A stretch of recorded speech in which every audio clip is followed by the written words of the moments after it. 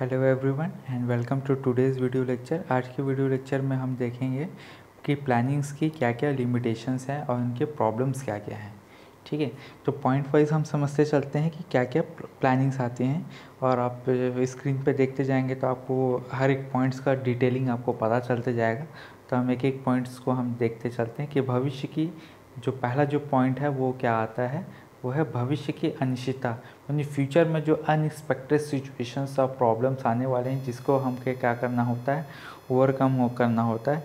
तो यहाँ पर हम क्या कर सकते हैं? हमें लगातार चेंजेस करनी होते हैं अपने प्लानिंग्स में बार बार क्योंकि जो प्रॉब्लम्स जो है, वो अनएक्सपेक्टेड वे में हमारे पास आ रहा है। हम कितना भी एस्टिमेटिंग कर लें, लेकिन हमारे पास जो प्रॉब्लम्स आएँगी, वो क्या होती है? अनएक्सपेक्टेड वे में आती है और अनकंट्रोल्ड वे में आती है, जिसे हम फ्यू मैंने प्रेजेंट में हम फ्यूचर में आने वाली प्रॉब्लम्स को सही तरीके से एक्सपेक्ट या प्रिडिक्ट नहीं कर सकते।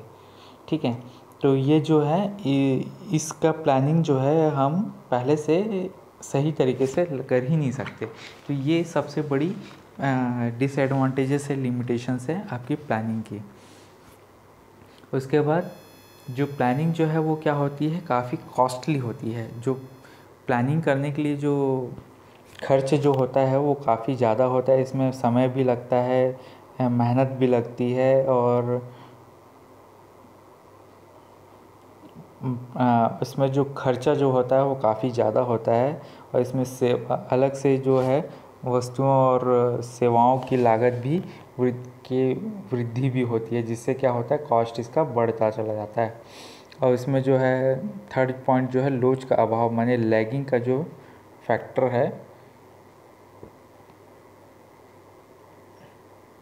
लैगिंग का जो फैक्टर है वो काफ़ी ज़्यादा आता है क्योंकि फ़िज़िकल रिसोर्सेस का उपयोग हमें करना होता है, लेकिन सही कितना भी हम प्लानिंग कर लें, इतना ब्लूप्रिंट बना लें लेकिन कुछ ना कुछ उसमें कमियाँ रह जाती है और जिसकी वजह से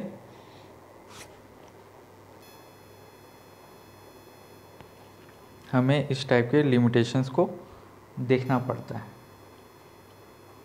उसके बाद जो नेक्स्ट पॉइंट है, वो है बड़े परिवर्तनों की समस्या। क्या होता है कि हम फ्यूचर में फ्यूचर में आने वाली प्रॉब्लम्स को क्या करते हैं? स्टडी करते हुए हम क्या करते हैं? प्रेजेंट में प्लानिंग करते हैं। लेकिन कई बार ऐसे होते हैं कि अनएक्सपेक्टेड सिचुएशन जनरेट हो जाते हैं। जैसे कि अभी कोरोना का समय चल रहा है कोविड नाइन्टीन से अभी पूरा बिज़नेस जो है कंट्रीज़ डिफरेंट डिफरेंट कंट्रीज़ जो हैं, वो क्या हो रहे हैं? प्रभावित हुए हैं।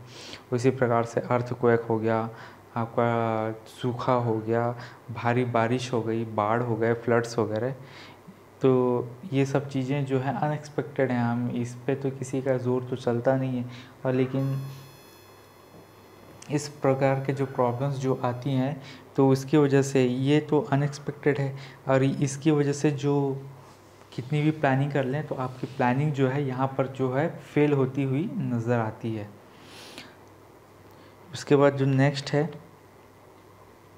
व्यक्तिगत रुचि की समाप्ति। माने इंडिविजुअल जो इंटरेस्ट है, वो क्या होता है? ख़त्म होते जाता है। कई बार हमारा क्या होता है? हम प्लान करते हैं, लेकिन प्लानिंग हमारा फेल हो जाता है या प्रॉपरली एग्जीक्यूट नहीं होता या उसका प्रॉपर रिज़ल्ट हमें नहीं मिलता तो उससे क्या होता है? हम हाँ एक इंडिविजुअल इंटरेस्ट जो होता है, एक पर्टिकुलर पार्टिसिपेंट का, वो क्या होता है? धीरे धीरे करके ख़त्म होता चला जाता है।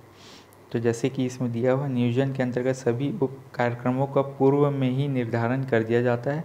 इससे संस्था के कर्मचारियों की व्यक्तिगत रुचि व पहल शक्ति की भावना समाप्त हो जाती है और वह मशीनों की भांति पूर्व निश्चित कार्यक्रम के अनुसार कार्य करने के लिए बाध्य हो जाता है। मैंने हम यहाँ पर क्या करते हैं? पहले से डिसाइड कर दिए हैं टारगेट अचीव करना तो उसके लिए क्या होता है? एम्प्लॉयज़ जो हैं, एक मशीन की तरह कार्य करते हैं। उनकी क्रिएटिविटी और इनोवेटिव एबिलिटी जो है हमें देखने, ज़्यादा देखने को नहीं मिलती है।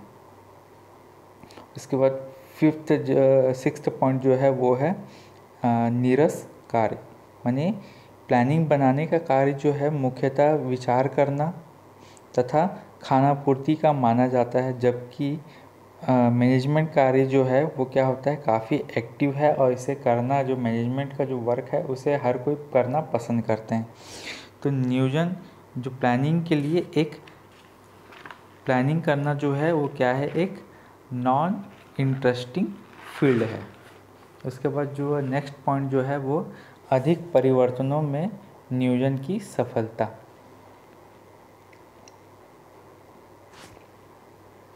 या फिर असफलता मैंने प्लानिंग की आ, प्लानिंग फेल होना। है तो जिन बिज़नेस में परिवर्तनों के सफलतापूर्वक नहीं अपनाया जा सकता, उन बिज़नेस में प्लानिंग पर भारी पैसे खर्च करना और समय के अनुसार निर्णय लेना ही अधिक उपयुक्त समझा जाता है। अगर आप प्लानिंग करके चल रहे हैं किसी बिज़नेस में और आपका प्लानिंग जो है वो काफ़ी खर्चीला है, काफ़ी ज़्यादा पैसे खर्च करने वाला है तो इससे अच्छा बेटर है कि आप करंट सिचुएशन को देखते हुए प्लानिंग करें और उस प्लानिंग को एग्जीक्यूट करें ताकि आप टारगेट अचीव कर सकें। एंड एट्थ पॉइंट जो है, निर्णय में देरी। प्लानिंग के समय लागत है, समय लगता है, जबकि आप, आपात स्थिति में तुरंत निर्णय लेना ही आवश्यक होती है। अतः प्रबंध के दृष्टिकोण से प्लानिंग नॉन बिहेवियर बन जाता है। मैंने आप कितनी भी प्लानिंग कर लो, लेकिन अगर सिचुएशन अगर अनएक्सपेक्टेड आ गया तो उस केस में क्या होता है?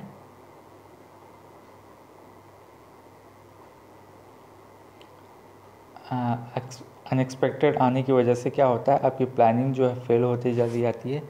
तो ये जो प्लानिंग का जो फेल होता है, इससे क्या होता है? आपको निर्णय लेने में, क्योंकि आप पहले से माइंड सेट कर चुके हो कि आपको ये कार्य करना है। लेकिन अगर प्लानिंग फेल हो गया तो आपको क्या करना होता है? नया प्रोसीजर या नया कार्य आपको करना होता है। तो जिससे क्या होता है, आपका जो करने की जो इंटरेस्ट रहता है, वो धीरे धीरे करके ख़त्म होता चले जाता है और आपने जो समय जो दिया है प्लानिंग करने के लिए, वो भी आपका वेस्ट होता चला जाता है। तो ये सब चीज़ें हैं जिनकी वजह से क्या होता है, आपकी प्लानिंग जो है, बहुत हद तक आपको लिमिटेशन कर देती है। और जिसमें सबसे इंपॉर्टेंट चीज़ है वो क्या है? आपकी क्रिएटिविटी और आपकी इनोवेटिव थिंकिंग्स को क्या करती है? वो समाप्त कर देती है। और दूसरा जो इंपॉर्टेंट पॉइंट है इसमें वो ये है कि due to unexpected natural disaster आपकी प्लानिंग जो है फेल होती है। ठीक है? तो ये जो दो तीन फैक्टर्स हैं जो आपके प्लानिंग को लिमिटेशन प्रोवाइड प्रोवाइड करती है।